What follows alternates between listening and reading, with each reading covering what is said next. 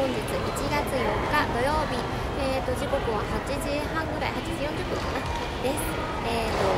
新横浜駅ということで今から、えーと、大阪にですねレッスンと演奏に行きたいと思います。えーと、レッスンは、えーと、募集をかけて7コマやらせてもらう予定だったんですけれど、えー、とたくさんの方にお申し込みをいただきまして9コマ全部でやらせていただきます。で、えー、と1泊しまして、えー、と次の日5日ですね。5日に、えー、と演奏させていただきます。また詳しくはねちょこちょこお話ししていきたいななんて思ってるんですけどまずは新幹線に乗って大阪まで行きたいと思います。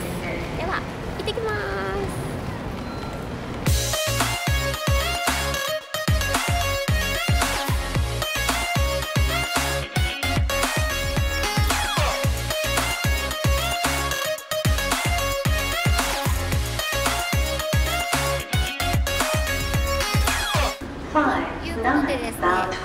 まあ、新大阪まで行きたいと思います。そろそろね、新幹線が来る頃かなと思います。今日は初めて会う方が6名かな。3人の方は前回もあのレッスンを受けてくださった方になります。うんとどんな感じでね皆さんと音出しができるのかすごく楽しみにしています。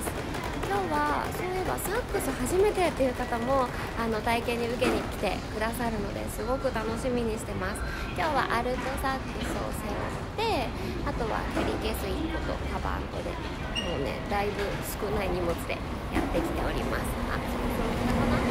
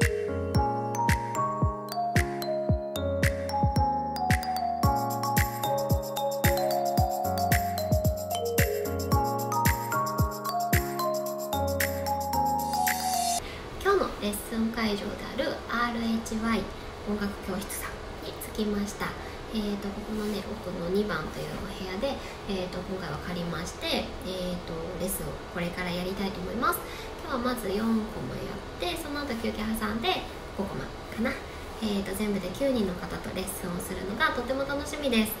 えっ、ー、とねあの初めていらっしゃる方が半分くらいですかね。であとはあのこの前の去年ですね去年の8月にレッスン受けてくださった方も何かいらっしゃるのでどんな風に変わってるのかすごく楽しみです。ではこれからレッスン頑張りたいと思います。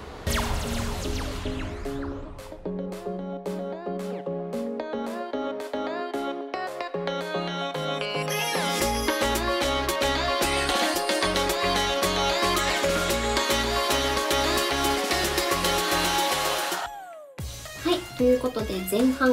4コマ分はい終わりました、えーと、初めて会う方がいらっしゃったりまあ、えーと、前回のねレッスンが来ていただいた方がいたりだったんですけれどもう本当にあっという間の1時間過ぎてはい。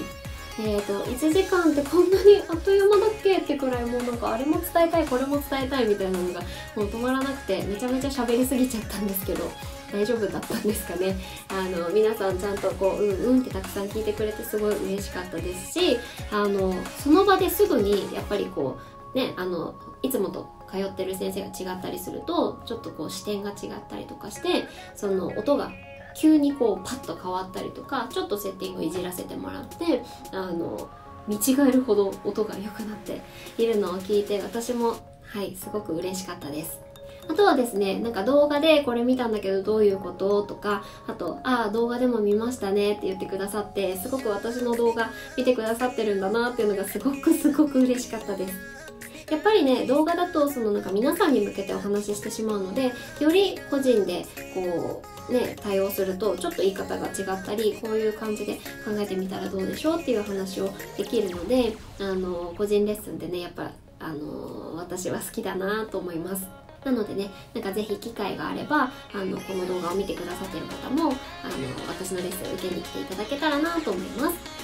今日はね、あと5コマですね、5人の方と、これからまた一緒に音を出せるので、それもすごく楽しみです。結構4時間喋りっぱなしだったのでちゃんと水分補給しないと生放送の時みたいに声が枯れてしまうんで最後までちょっと頑張らないとなと思ってるんですけど、うん、今日の夜ご飯何食べようかな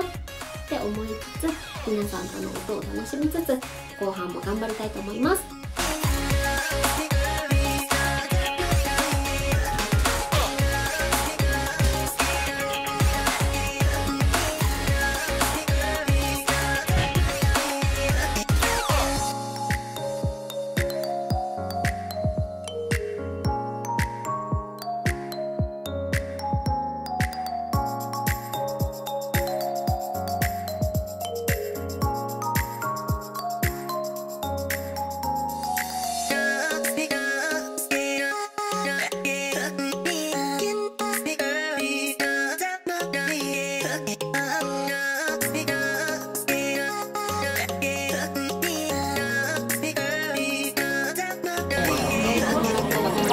めっちゃ美味しいです。こ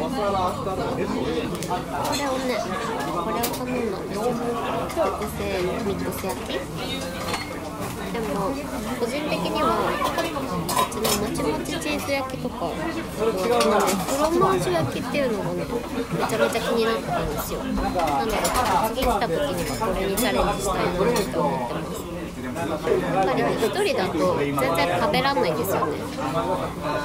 1枚でギリギリかな次回はえー、とチーズ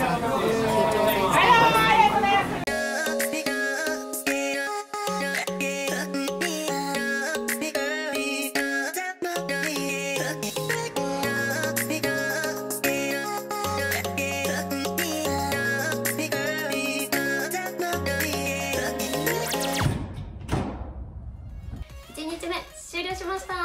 ということでですね1月4日の、えーと、レッスン大阪レッスンは、えーと、全て終了いたしました。夜ご飯もねあのお好み焼きめちゃめちゃ美味しかった。ふわふわで何回ひっくり返すんだって思ったんですけど1回じゃないんですね。表と裏をひっくり返したらもうはい食べていいよじゃなくて多分ね3回くらいひっくり返してたと思うんですよね。そんなにひっくり返すもんなんですね。なんかおばちゃんにこんなにひっくり返すんですねって聞いたらなんか、まあ、外はちゃんとカリッと焼いた方がいいしね中はふわふわの方がいいしねって言ってたんですけど結構ね無言でこうさってひっくり返すおばちゃんだったのでなかなかこうシャッターチャンスが取れずに私は一人で取ってないとか思ってたんですけどはい。でもすごく美味しかったです。前回、えーと、大阪に来た時前回じゃないか数年前34年前ぐらいにあの大阪に来た時にも食べに行ったお店だったんですけどやっぱり美味しかったです。あとはたこ焼き食べたいなーなんて思ってます。っていう話は置いといて、えーと、2020年の私の初仕事だったわけです、えーと、今年はですねあのカウントダウンのイベントにあの出演することがなかったのですごく久しぶりに数年ぶり？4年とか5年ぶりかな？かなんかにあのちゃんと年越しをお家で過ごしました。はい。結構ねコミケのお手伝いとか自分がコミケに出たりとかしたのであの年末年始バタバタしてたことが多いんですけど今回は、まあ、福岡の,、ね、あの演奏のお仕事行きましたけど28日までかな？は仕事して29303123ってあのしっかり休めたのではい。2020年も頑張っていきたいと思います。で明日ですね。明日はえっ、ー、と難波のスイスホテルさんかな？であの演奏がありまして今回来ております。演奏メンバーとしてはバイオリンバイオリンフルートかな？であとサックス。多分4名だったと思います。明日の演奏もね楽しんでできればなと思っています。とはいえまあ9コマお疲れ様でした。あのレッスンに来てくださった方も本当にありがとうございました。あのー、ね私がお伝えしたことを少しでもあの普段の練習に役立てていただけたらなと思っています。